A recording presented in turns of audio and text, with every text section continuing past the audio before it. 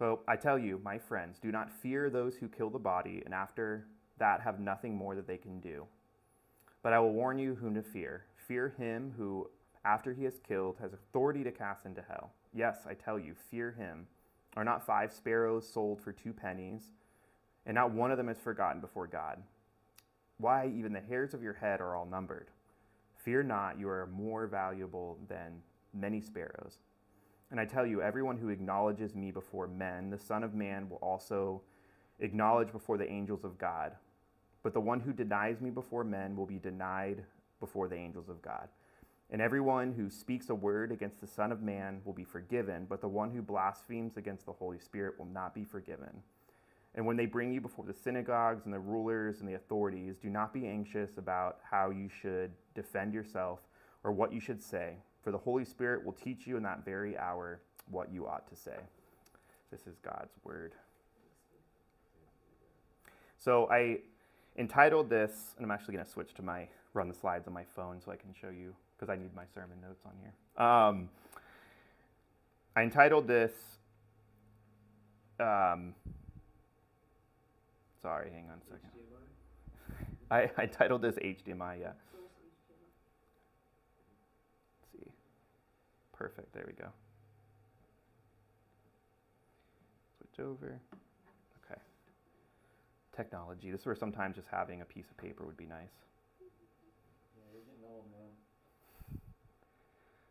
Okay. Um, so I titled this Faithful and Fearful Acknowledgement. And I hope you'll kind of realize this, what I mean by fearful acknowledgement, even though the text seems to imply that we shouldn't be afraid.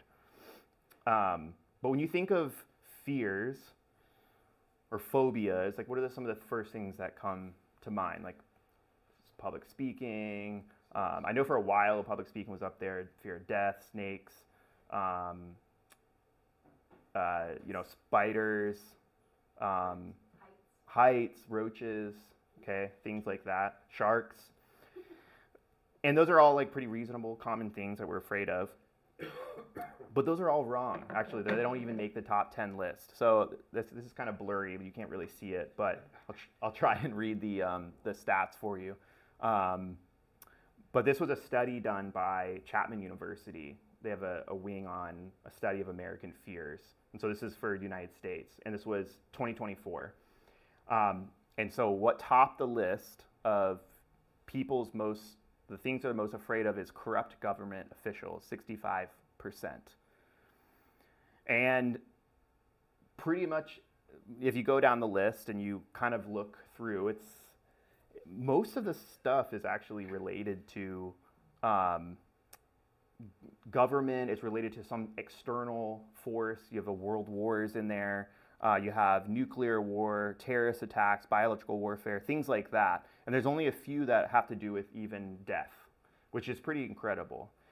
And what's really interesting is that pretty much this has topped the list for like the last 10 years or something like that where this fear of government failure has been or fear of government corruption has been something that people have been afraid of for many many many years. And the other uh, here's another interesting thing here is that when it comes to even just the election and this is really fascinating that it's, it's staggering that regardless of political affiliation, whether you're Republican, Democrat, Independent, everyone is afraid. That's the bottom line. Everyone has a fear when it comes to the election outcome. So this is for 2024. And then there's another study done in 2023, so last year, by Lifeway Research, and they found that seven in 10 Protestant pastors believe that there's a growing sense of fear within their congregation about the future of the nation and the world. Additionally, more than three in five say their churches have a similar increasing dread, specifically about the future of Christianity in the US and around the world. And, and so clearly, fear is a, is a, it's a major thing for us. It is basic to being human, right? Everyone is, has fear. Even animals have a sense of an instinctive fear. And it's natural and I think God given because it keeps us from do, it keeps us from harm. It keeps us from doing things we shouldn't. Um, it protects us. Yet throughout the Bible, we see the examples, like example after example of, of God's people continuing to give into fear, and then God calling them to be courageous and trust in Him. I mean, just that phrase, uh, do not fear or, or don't be afraid, appears many, many times throughout the Bible. And God calling them back to trust in His power, that He can deliver them from situations. And yet we see that those people fall back into the same patterns of fear and distrust of, of God. They, they repeat the pattern of disobedience. And all this is to say, you should be afraid. Be afraid, but be afraid and put your fear into God. Put your fear in the right place. And Jesus, in our passage, he tells his disciples what to fear. So the issue that they had was that their fear was in the wrong place. And it prevented them from living out the mission that God was ultimately calling them to, which is to make disciples. Because if you fear and truly fear God, then you're entrusting your whole life to Him, His perfect plan and will for your life. The passage is not just purely about fear, but it's also about ultimately how we are a witness or how we acknowledge Jesus as Savior and Lord in our life. And so, before we get there, let's pray and then um, we'll kind of move through the text. So, God, thank you for your word. Thank you for the clarity of it and the fact that you don't leave us without wisdom, you don't leave, leave us without knowledge and direction.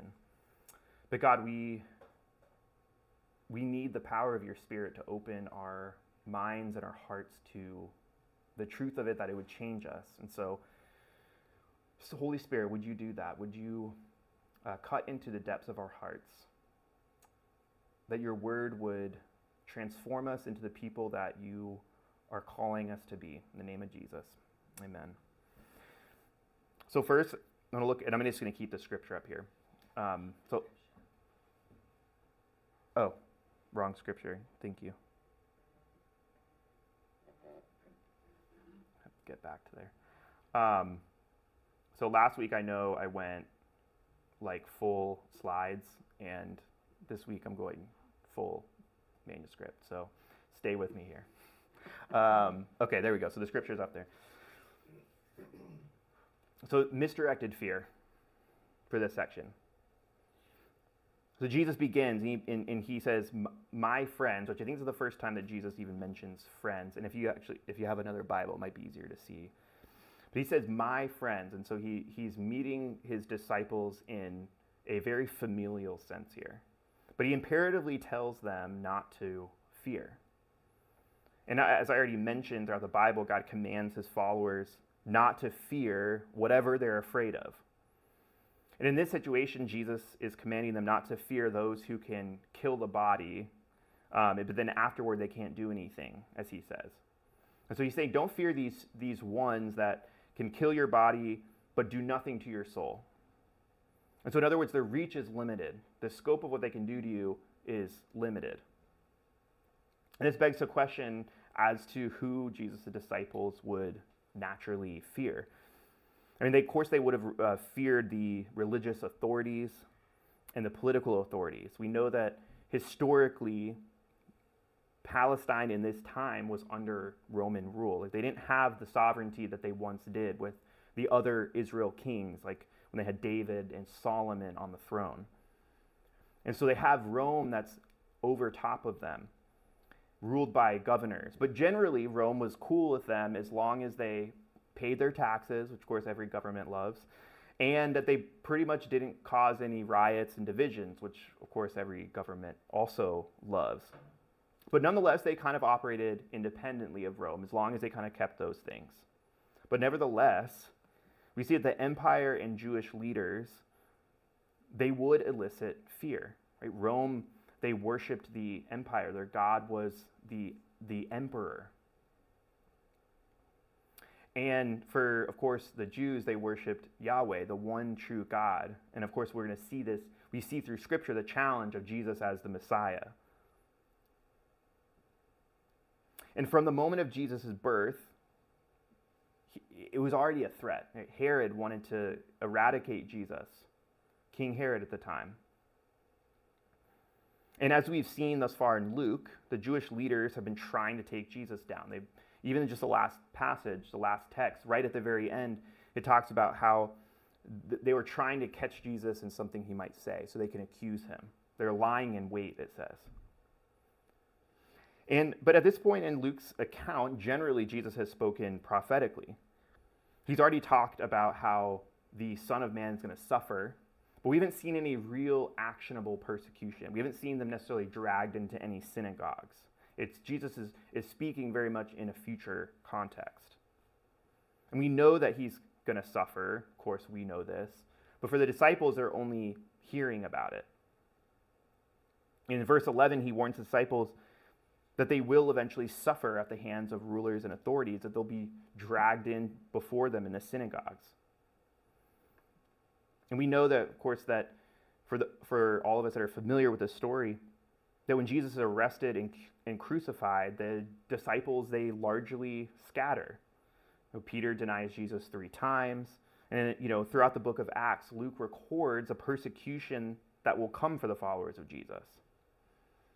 And of course, from that first century church all the way up until now, Christians somewhere in the world, even now, are persecuted because they acknowledge Jesus Christ, simply because they acknowledge Jesus Christ as Lord.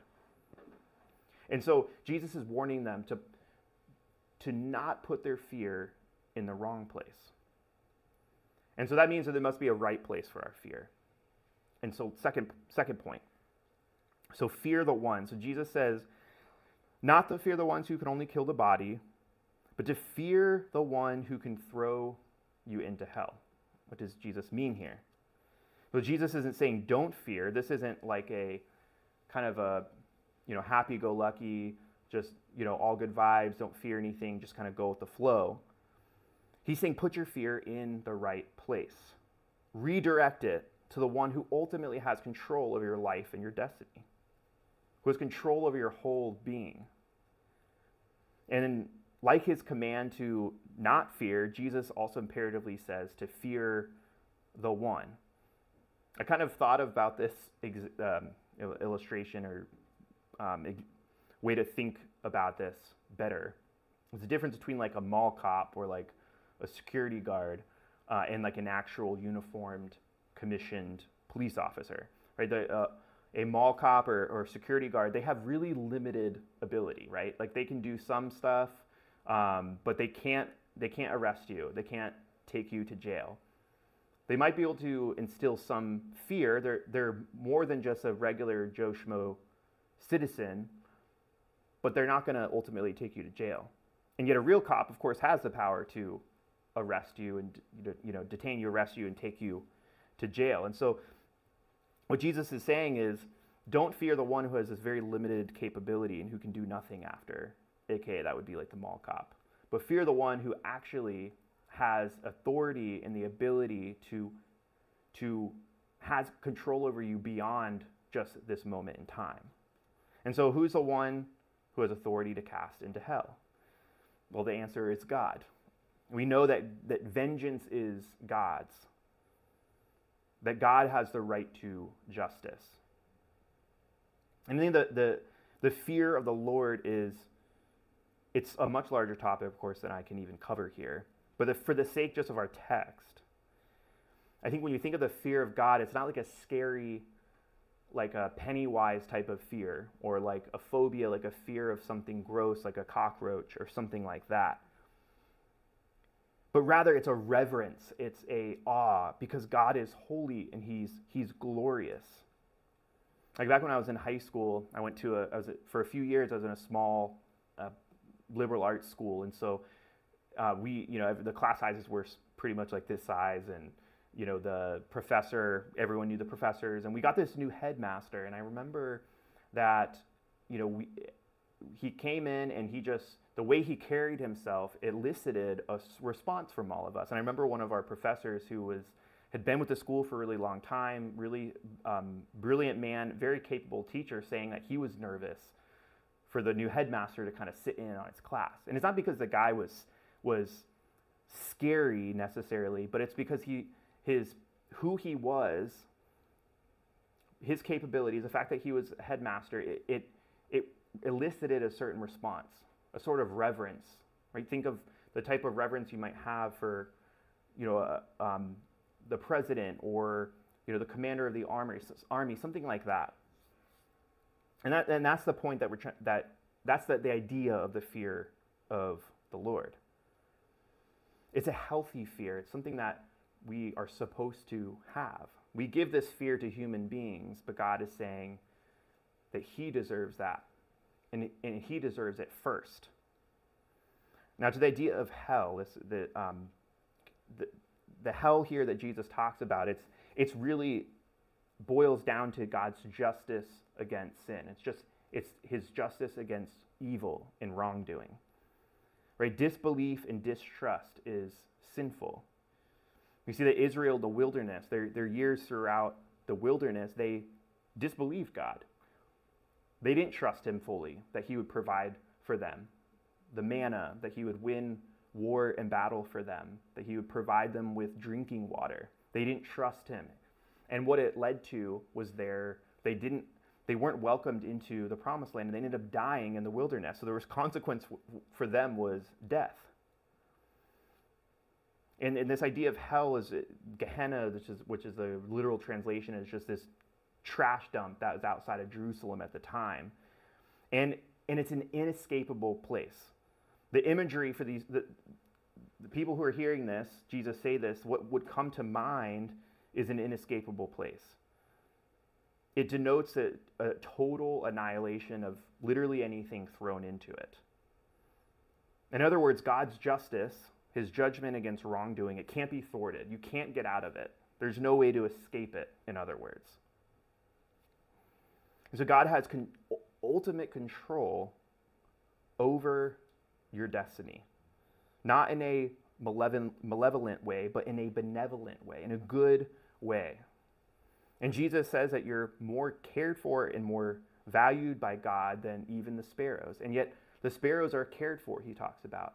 Something so lowly and insignificant as a bird, which he says is sold for just a few, uh, few pennies at the marketplace. God provides and makes sure that they have something to eat, and yet he says, You're more valuable than they are. And so, how much more is God going to care about you? This is kind of rep- reminiscent of Psalm 139, where David proclaims, He says, For you formed my inward parts, you knitted me together in my mother's womb. He says, I praise you, for I am fearfully and wonderfully, wonderfully made. Wonderful are your works, my soul knows it well. My frame was not hidden from you when I was being made in secret, intric- intricately woven in the depths of the earth. Your eyes saw my unformed substance.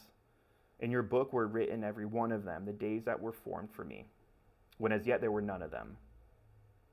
And this doesn't mean that life isn't going to be challenging and we shouldn't be surprised when it is, when it's hard, and when things bad happen to us, when we suffer.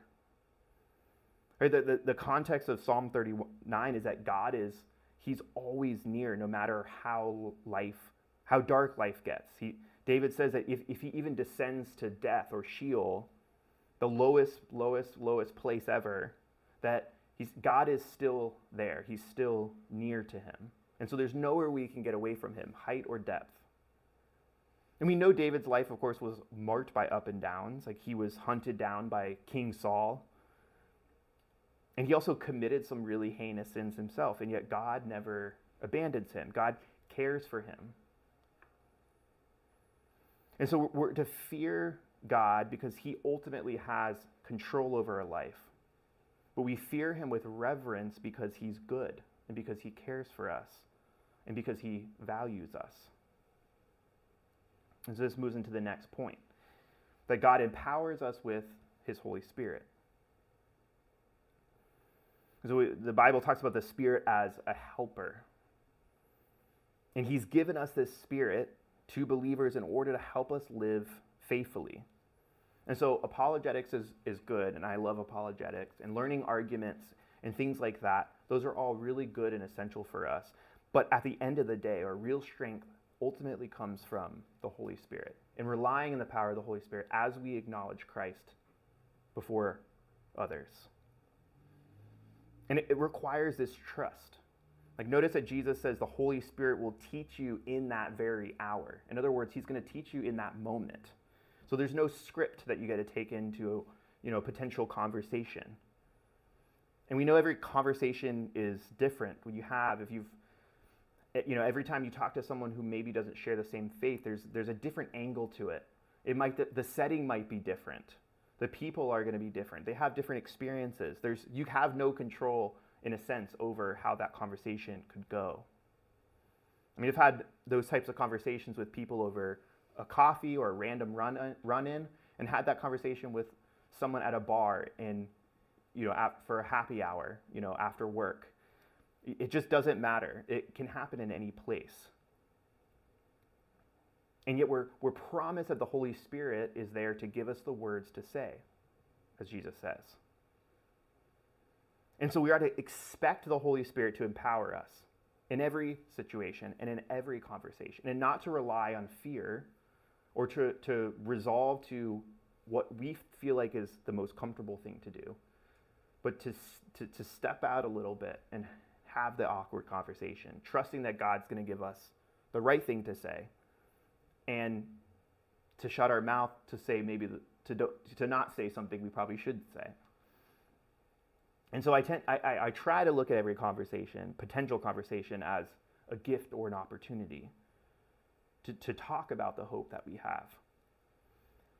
I love how Peter talks about this. He says, But even if you should suffer for righteousness' sake, you will be blessed. If you have no fear of them, nor be troubled, but in your hearts honor Christ the Lord as holy.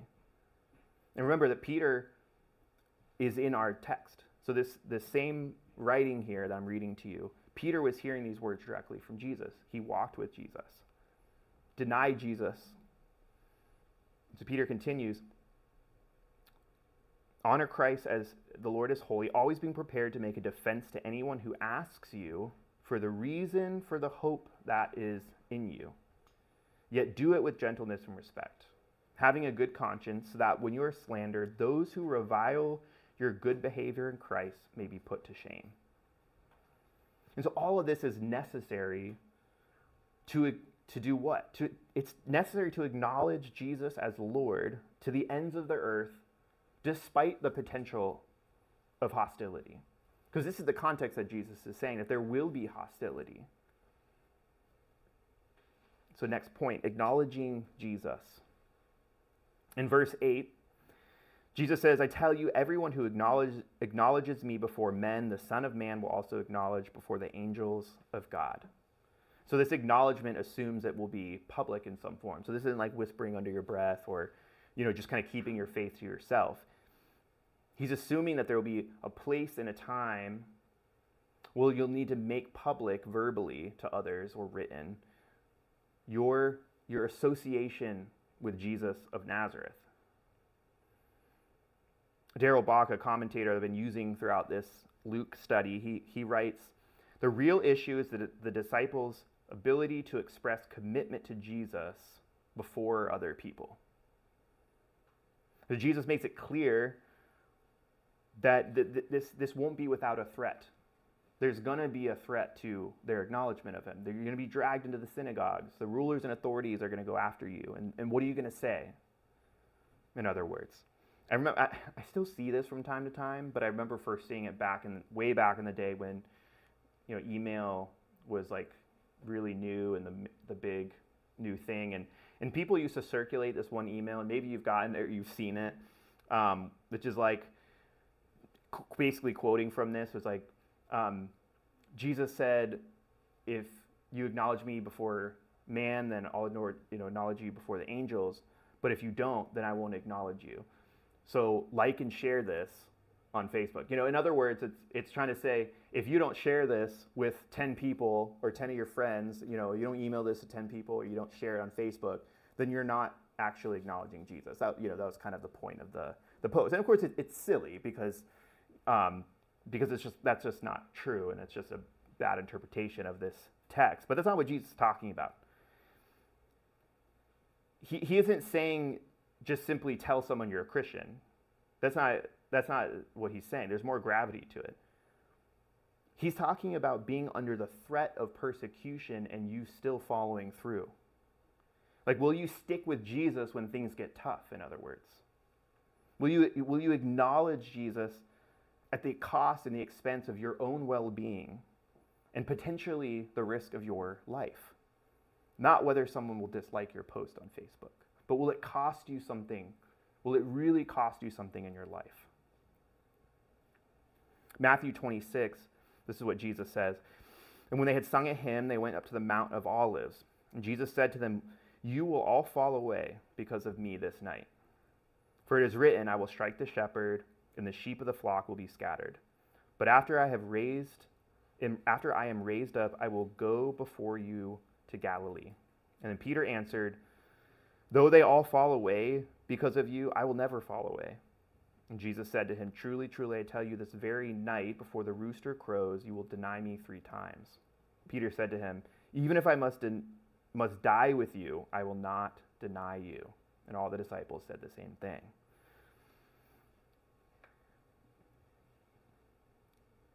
Peter's passion is admirable, but we know that he, he did.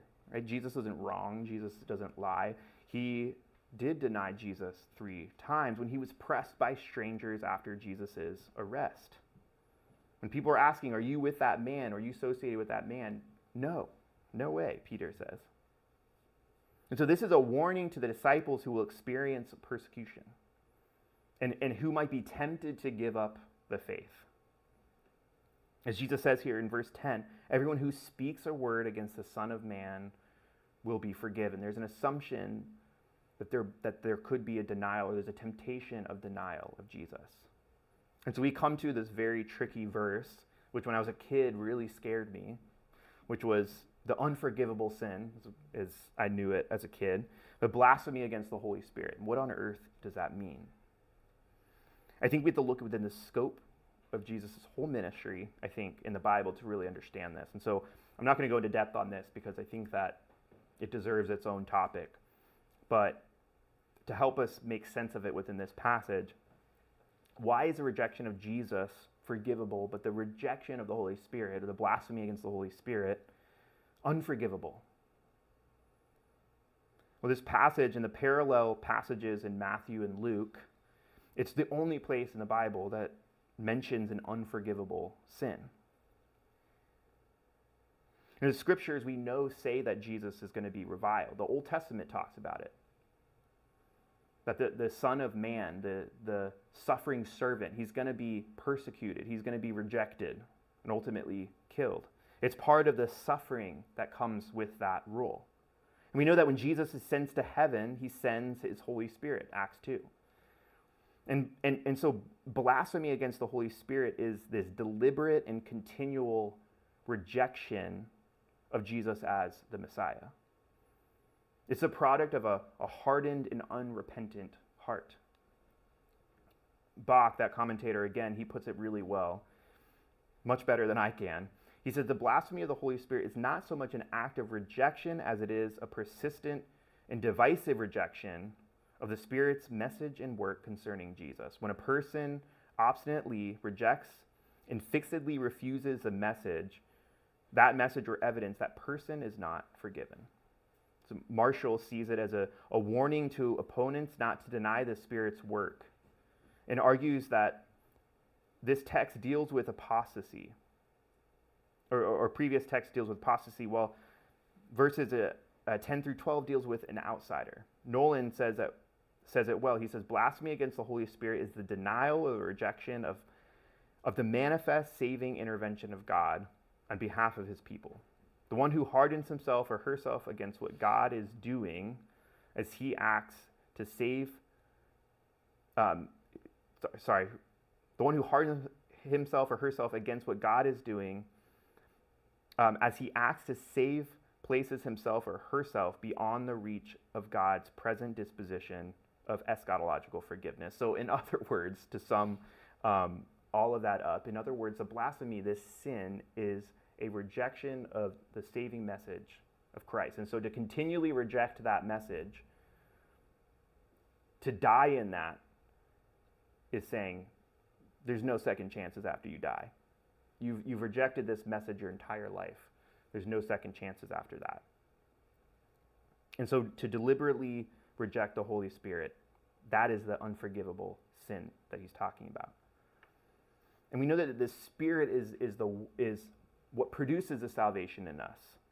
As Titus says, that when the goodness and loving kindness of our God and Savior appeared, he saved us not because of our works done in our righteousness, but according to his mercy, by the washing of regeneration and renewal of the Holy Spirit. So the work of the Holy Spirit within our life, whom he poured out on us richly through Jesus Christ our Savior. So that being justified by his grace, we might become heirs according to the hope of eternal life. That's what we talk about at least in the Reformed camp or world, about this idea of regeneration, that the Holy Spirit is what removes our heart of stone and turns it to a heart of flesh and, and allows us to accept the truth. It allows us to accept the message of salvation. And so to, to, to not to reject the Holy Spirit's work then is to remain in an unforgivable sense. To remain unforgivable. Of course, we know that Peter, he denied Jesus, and yet, despite the fact that he rejected him, he was forgiven. He became a force for the gospel, as Acts shows us. And, and the Spirit removed the, the scales from the Apostle Paul's eyes. Someone who persecuted Jesus in the church before his conversion. And there's so many others that fall in this boat. And Jesus doesn't leave the disciples alone, but he gives us this Holy Spirit in this moment, in this work of acknowledgement. That the same spirit that is living and active in us was the same spirit that raised Christ from the dead, as, as the, the Bible says. The same spirit that conquered death gives us the words and the ability to speak. And so don't be anxious. Don't be afraid, but trust in this power that God has given us. And so, last point what's our what's our threat? Because if we're honest, I think we kind of many of us know this, that we don't live in the same context as the disciples, and we enjoy these freedoms in America. That in the United States, that we we don't have to.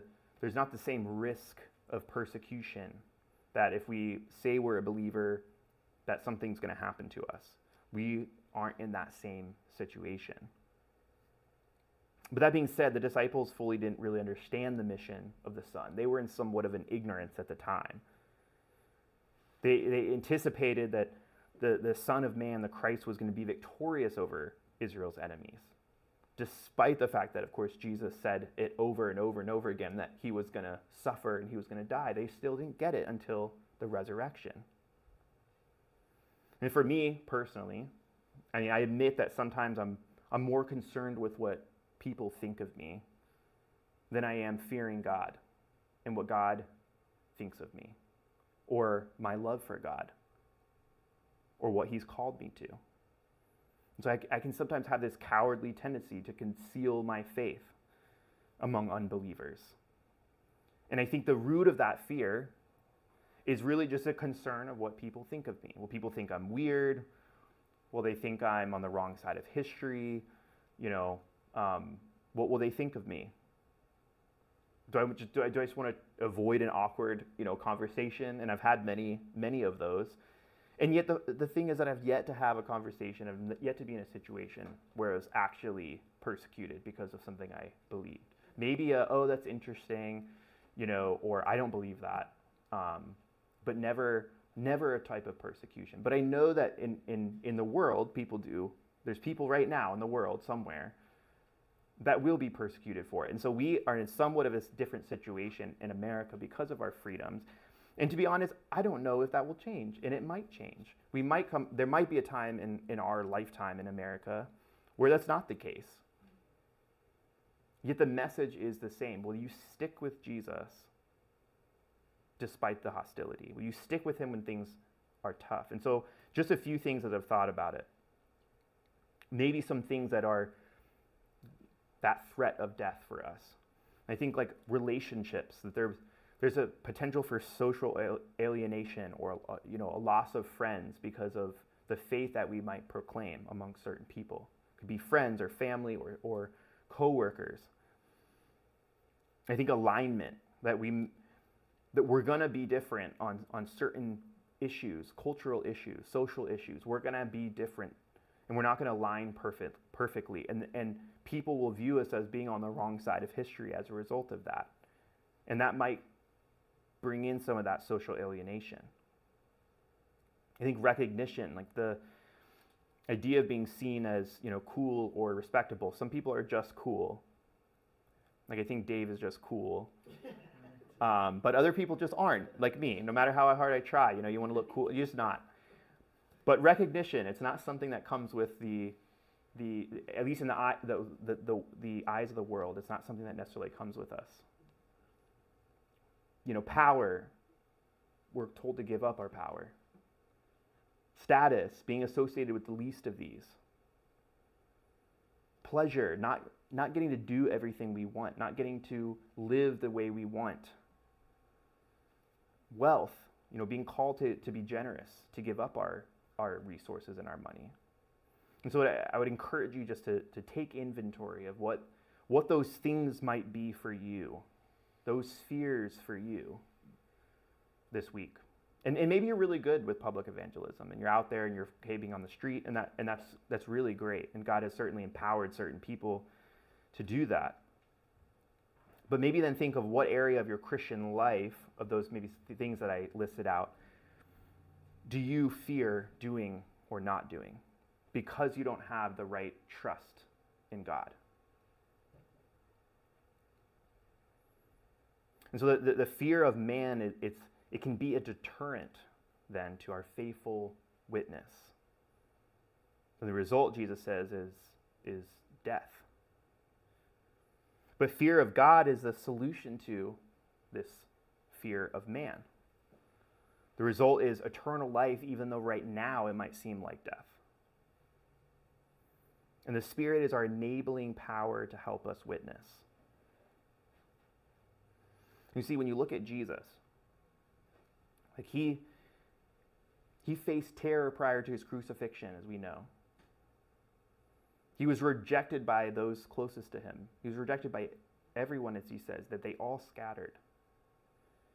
He experienced the emotional excruciating pain of his loss of relationship with God the Father and the physical pain of the cross. He gave up his spirit on the cross so that we would have his Holy Spirit. And he died ultimately, taking hell upon himself in a sense, so that we wouldn't have to go there. He was perfectly obedient to the mission of redemption. And ultimately, Jesus, he's, he's experienced every fear that we have, whatever the fear is when it comes to talking about our faith or evangelizing or living the Christian life. Jesus has experienced those. And yet, Jesus didn't stay in the grave. He rose from the dead, he ascended to heaven, and we know that he reigns victoriously. And so, whatever befalls us, whatever happens to us in this life, as we faithfully acknowledge Jesus, our hope is ultimately in the Lordship of Jesus. Our comfort is in the care and the goodness of our Heavenly Father, who we know values us more than all of creation, and our strength is in the Holy Spirit. So let's pray.